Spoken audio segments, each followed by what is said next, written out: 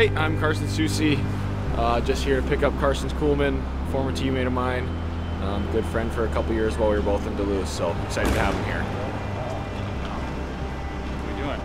Good to see you, man. Great to be out here. Smooth? Yeah, oh yeah. Even landing? Even landing. With the exact weather I was uh, expecting. Yeah, this is a pretty typical day when you get to Seattle.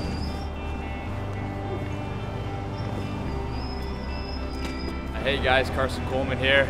Super excited to get out west and uh, start the new season with the Kraken.